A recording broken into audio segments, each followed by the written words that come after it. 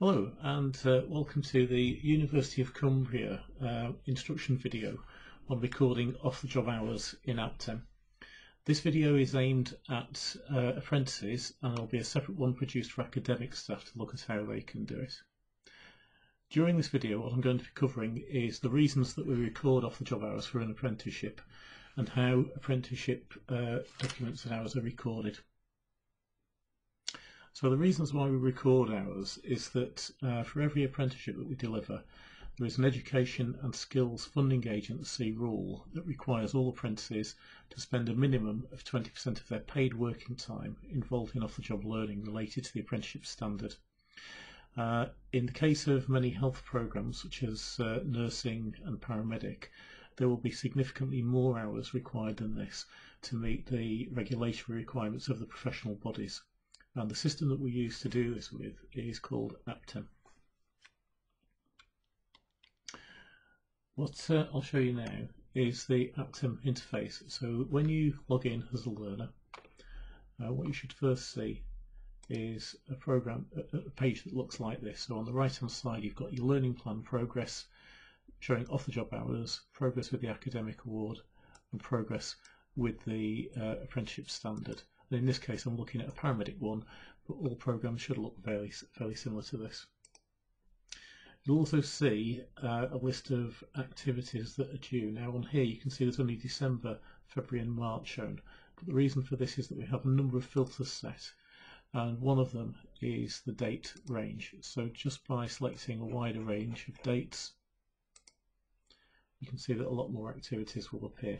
Some of them have no deadlines, but some of them do. So what I'm going to be looking at the minute, looking at at the minute, is recording of off-the-job hours. So I've extended the February um, field that shows that in February I'm due to record a monthly log of off-the-job hours, and there's a task to start here. And if I click on the task on the right-hand side, you again then get the opportunity to upload a file. Now, different programs will use different types of logs to record it. So some may appear as a Microsoft Word document, and some of them may appear as a, Microsoft Excel spreadsheet. So for example, this one is a draft for the paramedic degree apprenticeship one. Um, in this case, what you can do is select the month that you're reporting at the top, and it will automatically adjust the dates. But for this one, I'm actually reporting on January 21.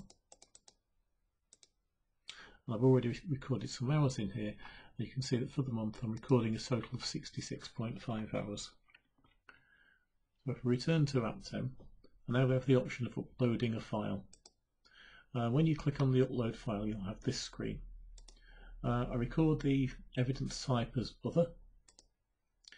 The completion date is completed automatically by the system now if I just tab back to check that I'm reporting on the correct number of hours, I'm reporting 66.5 hours here. So 66 colon 30 minutes. So in here it's minutes rather than point. And then you have to confirm that uh, the hours are eligible. And there's one of three ways in which the hours can be eligible. So the first is that it is completed in your own time and that you're being paid by your employer.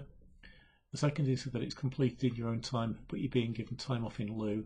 And the third is that it's completed during paid working hours. So in this case, I'm, I'm claiming that it's completed in paid working hours.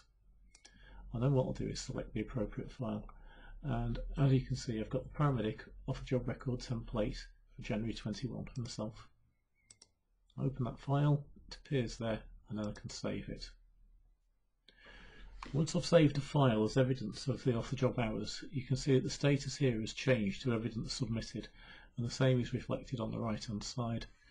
Now, until one of the academic staff has been into Aptem and checked this and approved it, it will still say as evidence submitted rather than completed, as, the, as this one is here. In the actual progress uh, field of Aptem on the right-hand side, you can see that off-the-job hours are recorded here. And by putting my mouse across the bar, you can see that currently I've completed 11% of the expected off-the-job hours for this stage of the course, and the target should be 12%. Now, once the academic clicks uh, uh, goes into here and approves the evidence that's submitted, that will automatically go up and show the number of hours that you've completed. And the idea of submitting this on a monthly basis is that it gives you a track of progress against what you're expected to achieve and where you are against it. If you have any issues or problems uh, doing this within Aptem, please contact us at aptem at cumbria.ac.uk and one of the apprenticeship team will uh, get back to you and help you either through Teams meeting or emails. Thank you very much.